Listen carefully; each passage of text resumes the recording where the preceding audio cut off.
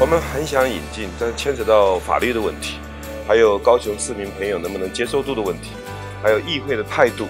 另外，当然经验是可以从这个经验这一方面，如果不够的话，可以请专家。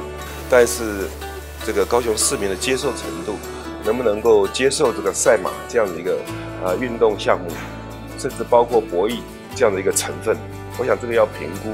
但是各地的马会去看一看的话，对我们将来也许会有帮助。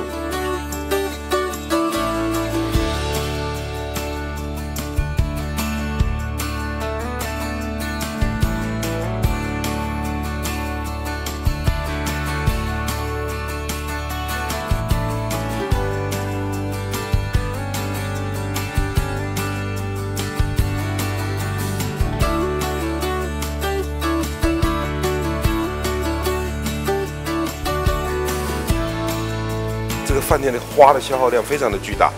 第一个，它都是用鲜花，不是用人造花，所以它必须每三个星期左右要换一次花。花的品相里面有非常多是高雄将来花农可以供应的，包括火鹤啊，包括一些兰花。